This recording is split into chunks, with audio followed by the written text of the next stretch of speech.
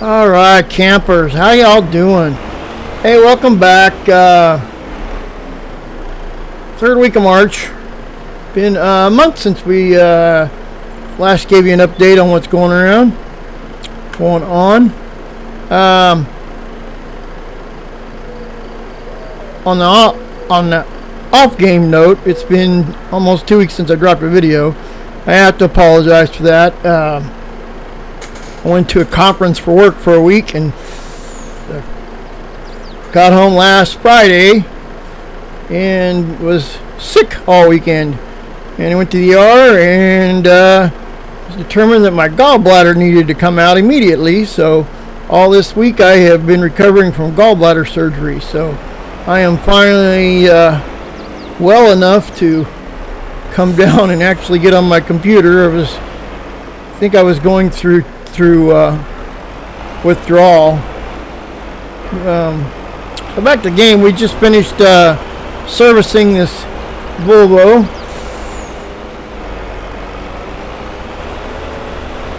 It says the internal the internal sensors in here say I got damage. It says that I am 49%, but the mechanic I had come out here to service said yeah, there ain't nothing wrong with the damn thing. A little beat up, but so not real sure why that is. He I didn't want to pay an extra twelve hundred bucks to find out why the sensor wasn't flying right. So we're just gonna keep an eye on it. It's uh this is our milk truck. Milk and slurry truck anyway, so it didn't go very far. So speaking of uh, things that are going on, We'll just park here for now. If you look at what's... It looks a lot different, don't it? The big farm, the old farm, cow barn is gone. Um, I sold off the entire herd. And I tore down that big old god-awful cow barn. Everything else is the same. And I built that new one. Then I moved the chicken coops. We uh, we borrowed a big crane, lifted one end up as kind of like a house moving event. Um, moved the chicken coops over. They're pretty sturdy. It was it was very surprising. So uh, before we go through the cow barn, I'll point out some things. I built another little shop over here. Uh, just something small need a little smaller shop. Maybe if I wanted to work on something for a long period of time, I didn't want to tie up other space. But uh, I got my chicken barns back to back now. Now my chicken pen that I put the males in till they get big is still back over there. My silos all are the same. I built a new, we dug up, and we had a little problem with this because the ground was still partially frozen first week of March. But uh, we dug uh, the fertilizer and herbicide tanks up and relocated them over here with this shed. And it only took them a week to put this thing up. It was very surprising. But it, we moved the uh, uh, we call it wash plant, wash pad. We poured uh, new concrete, and I've actually kind of got it back in same old shape. We did add a new TMR uh, mixed forage production. So um, we had a lot of hay. We had some. I had to buy the mineral feed. That cost a couple hundred thousand dollars to buy, but we had the silage. We had the straw. So uh, got that, and then we changed we got rid of the other seeder and seed maker, uh, whatever that thing was. Put what type of grain you wanted in it, and it would come out with the seeds. And we changed to this one. So uh, I don't have anything in there right now, so we aren't producing any seeds because I got them all stored up. I got seeds all over the place.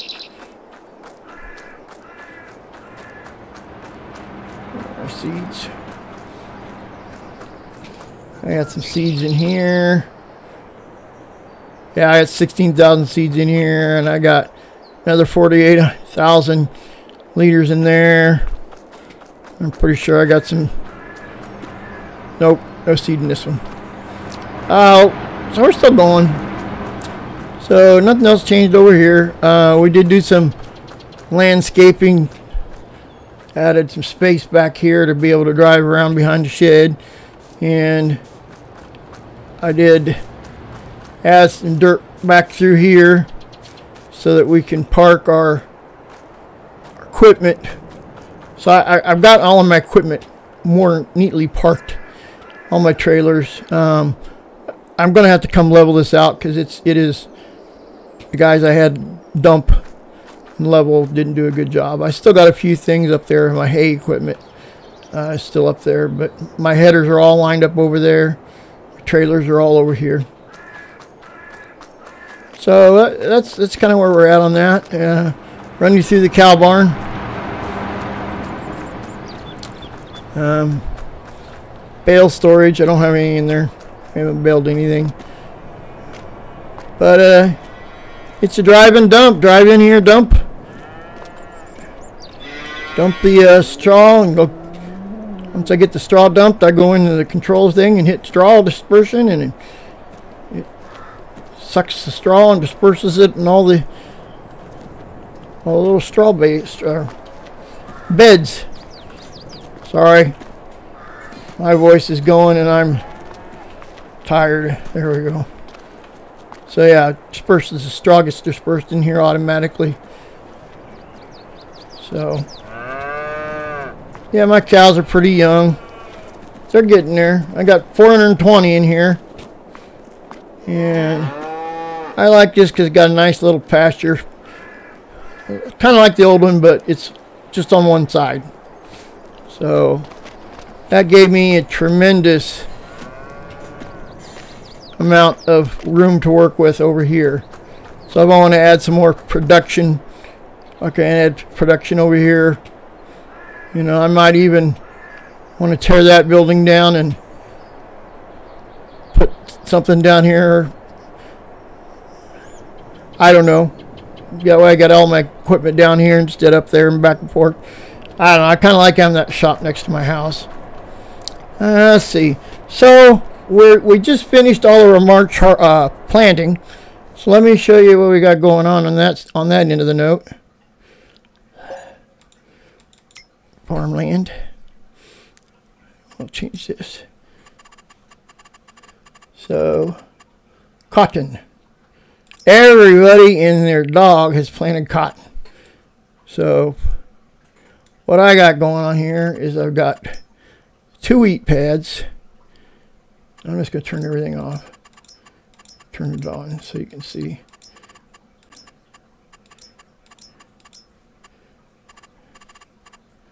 There you go. Well, we'll leave the grass and carrots on. I still got a little carrot patch back there, I, even though I got rid of most of that plot. But I still got my grass. Um, I got this little grass space over here with the apple trees. I'm looking at maybe buying buying this plot and adding the grass, but they went you know half a million for it. The price is going down, so if the price goes down some more, I might go ahead and pick that up and pick up 186. Because 186, oh, he's you know what? He's only 197 right now. I'm gonna go ahead and buy him. Yeah.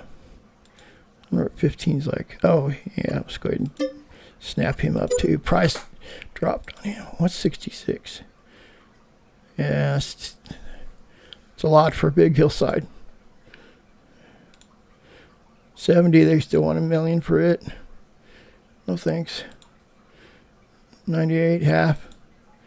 Yeah, so now this one I might be looking, I might have to take another look at him. Uh, I could put another field up there. It's kind of flat ground on that top end. We'll have to see. All right, well, anyway, uh, let's go back to map overview here. So, um, lake. So let's throw the cotton up. Oh, they're all the cotton fields. Everybody planted cotton within 100 square miles. So anyway, but it is a huge demand for it. So I, I, I hope my investment in these fields pays off. But uh, I did, I did combine 53 and 52 into one field. Uh, so that's one field of cotton, 51. I've got 54 batch of cotton. Uh, this field here is cotton. Um, this is cotton. This is cotton. And then I went ahead and did 46 for 748 cotton. Or wait. Yeah, 46. Yeah, 46, 47, 48 cotton. So yeah. So I'm not real sure what I'm going to do with this right now. I know this is going to be corn. This is going to be corn. Um, this is going to be soybeans. Soybeans. Although I, uh, uh, these are going to be sugar beet. I probably plant that sugar beet as well.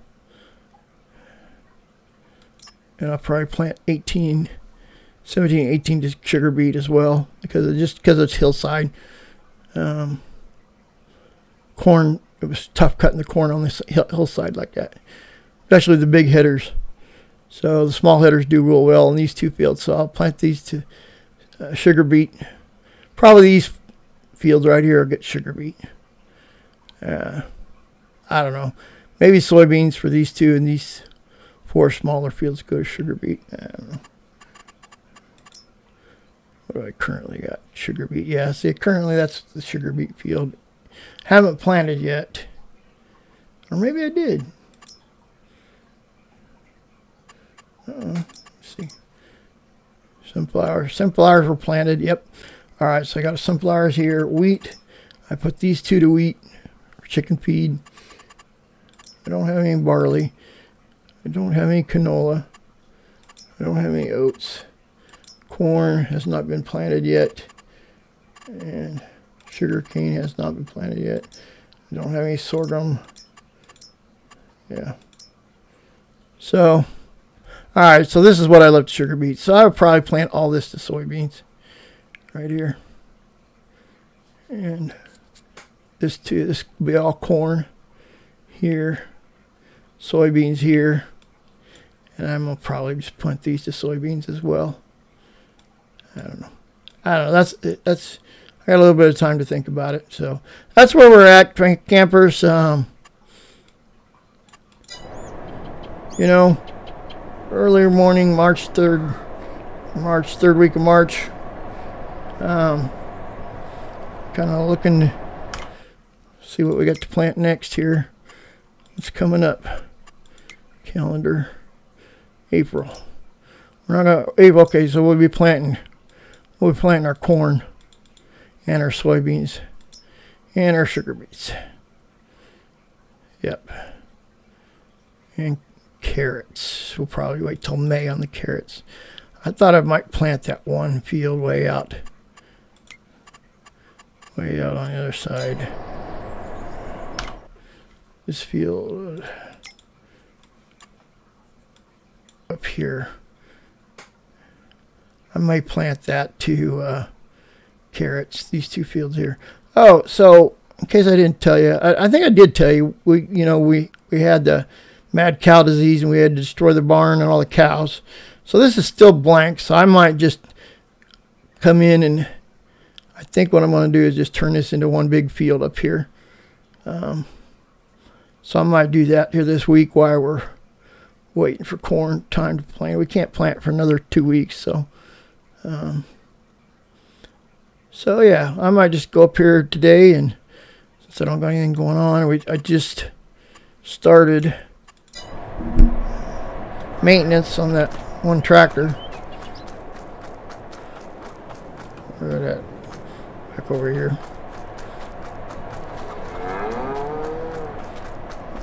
I'm on black Magnum 400 in my truck. So yeah, I just started maintenance on it, so maintenance and repair. It was pretty uh, pretty beat up. I didn't. I used the crap out of it this winter with a snow blower, so it it got tore up pretty bad. So I've got that 400 Magnum down at the other field, farther farm yet. What I call the East Farm, Cotton Farm. So, oh yeah, I did buy.